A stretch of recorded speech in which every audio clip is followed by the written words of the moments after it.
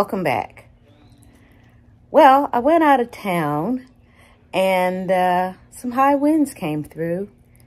And when I came back, it was late at night. It was dark. I didn't think to look outside. I was tired.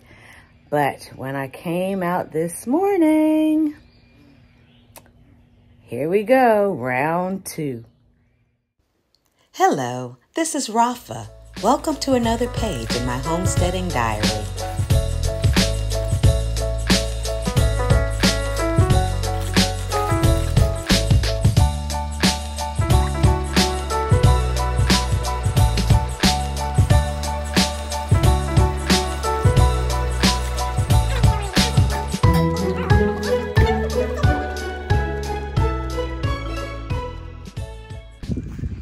Say high winds, they mean high winds. Now this one, actually my husband came out here and tried to, well, he did fix it a little bit. But this was discombobulated and uh, that's the same one as before, but it, it, did not receive nearly as much damage as it had the first time. So our design, our improved design did hold up. But it's about time for this to be put to rest anyway. As spring is approaching, I'll be using, and we're redoing this area. So that hoop house is coming down anyway. And here we go over here. This hoop house, totally demolished by the winds but that's not my biggest concern. More greenhouse woes. I thought I had secured this in with bricks not necessarily because I knew the high winds was coming, but I just thought I had secured it. And now, oh my gosh, look at this everything. Now I got to try to identify what is what. Look at this. Look at this. Uh, all my little babies. Oh my goodness. Well, you know, from the previous video, I said I needed to re uh, transplant some of these things or up up pot them because uh, some of them had gotten kind of tall and because uh, the algae. So now I'm really gonna have to move things along and these poor little things that was rooting, these, I gotta get them back going. Mother Nature is something else, isn't she? Hmm, but I will recover. What do I do? What do I do? I guess I'm to start over in March. Luckily, a lot of these, uh, a lot of the seeds germinated very quickly. So I'll just start over and uh, work with everything as best as I can. Hope for the best. Um, I'm in zone eight, so I think we have kind of a long growing season. Y'all know this is my first year doing this, so I don't need, I don't know about these things. I don't know about these things. I'm to start over, hope for the best. It is what it is. I mean, what else can I do? What else can I do? It's actually kind of hilarious. My biggest concern about the greenhouse toppling over is not that the greenhouse toppled over, it's that everything in it is topsy-turvy and the labels have been separated from the little pods. So now I have to try to identify what the seedlings are. I'm glad that I have the video where I gave you all the little look inside the greenhouse. So I'll go back and try to match things up as best as I can. I hope I don't have to start a lot of the seeds from scratch. Well, not from scratch, but you know, I hope I don't have to start a lot of the seeds again. I have a feeling that I might. You know, a lot of these medicinal, uh, medicinal herbs and uh, wild flowers, I wanted to plant even more anyway so that I could have a good amount to preserve, you know, through tinctures and dehydration. So, um, I think I will start all of them over. I'm still to hang on to these and the ones that I start over will help me identify what these are. So, uh, of course, there'll, there'll be a significant gap in um, the maturation of them, but at some point they'll catch up and they'll look like what they are. And so uh, at that point, I'll be able to identify them uh, in the raised beds. I'm just gonna, I don't know, y'all. I don't know. I'm just rambling. I don't know what I'm gonna do. Any suggestions? Leave them in the comment section, please.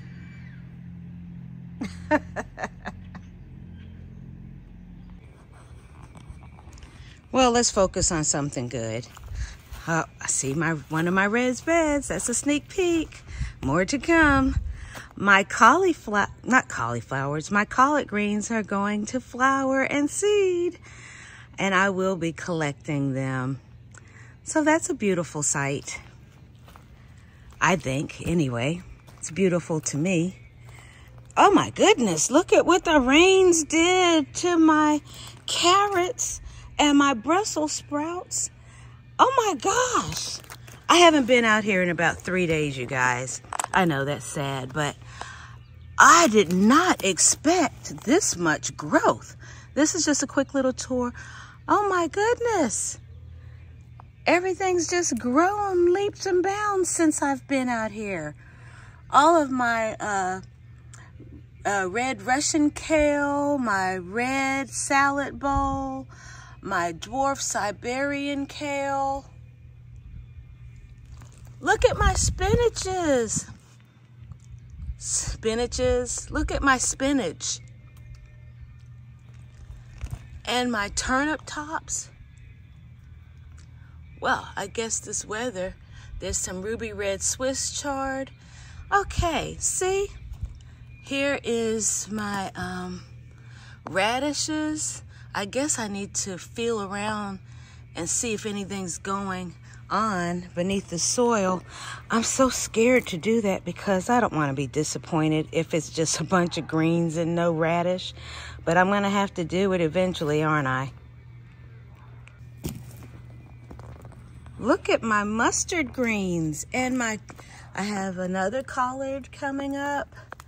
My mustard greens are doing lovely my giant red mustard. Look! Wow! The conditions, oh goodness, these bees. Conditions are right. There's a collard green. There's some broccoli that uh, bolted way too soon, as you could see. But look at everything. Brussels sprouts and collard greens. And there are those onions that are going to, they've flowered and they're going to seed.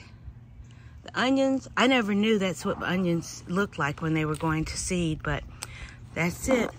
Here is some lettuce that's growing from kitchen scraps.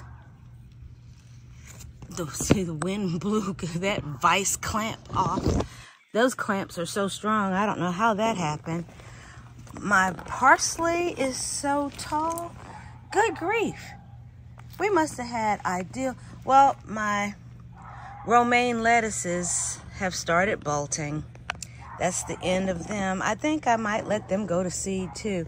Since I'm going to be dismantling this whole area, I, uh, you know, that cabbage collet right here has gone to seed everything's gone to seed. Since I'm dismantling this area, I'm not too concerned because all of this will be torn down. My mints, I don't know what this is a bucket of right here. I thought it was just wild weeds, but um, that I just let grow. I must have planted some kind of seeds in there and I have no clue what in the world this is whatever it is, it's the whole grow bag full of it. Okay, I got some, all of my comfrey leaves have just grown leaps and bounds. This is incredible. Incredible. There's some collard cabbage.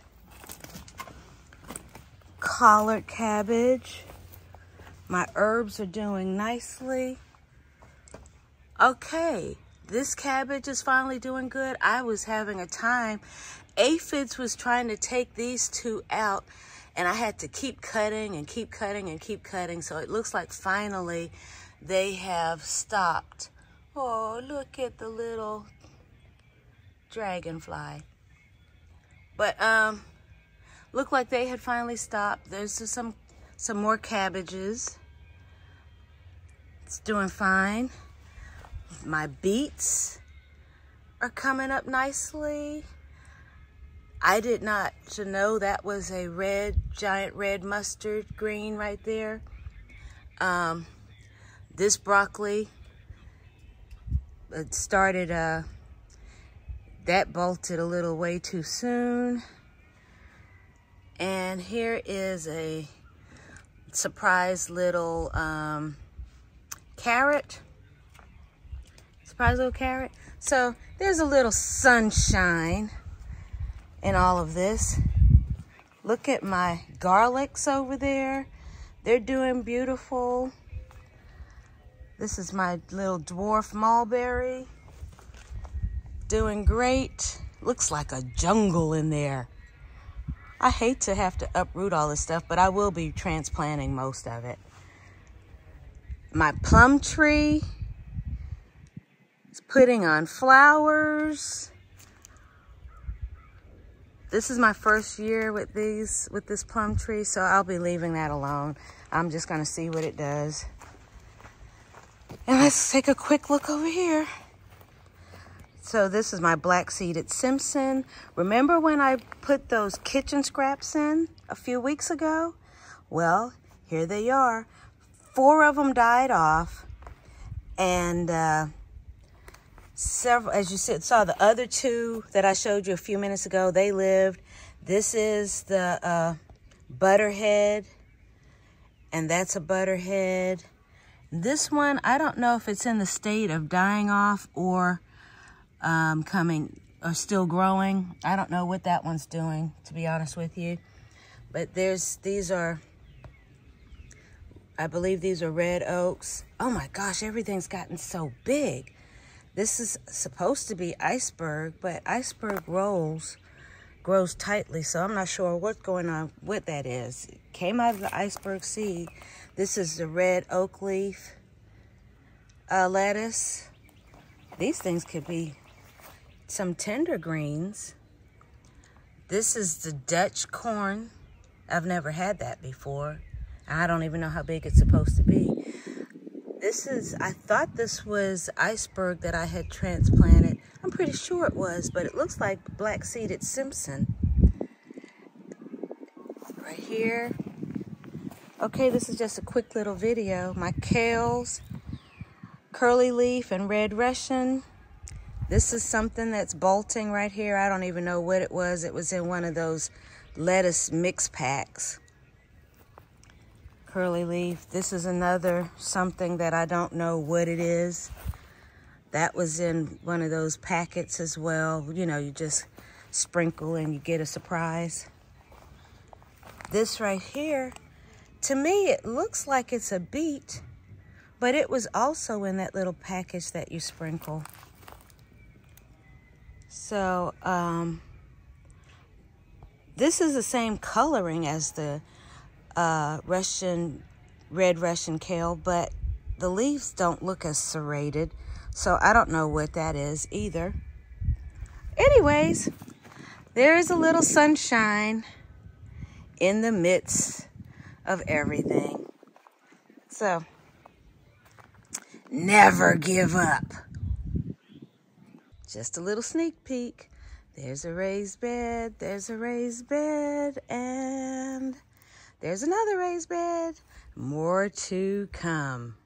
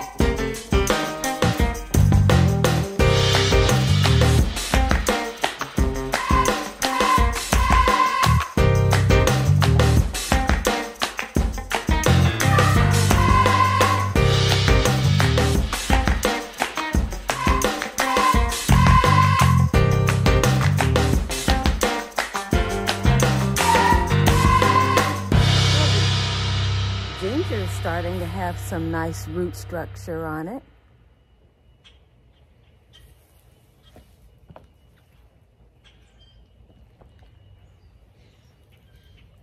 I really should have already planted these in the uh, grow bags anyway.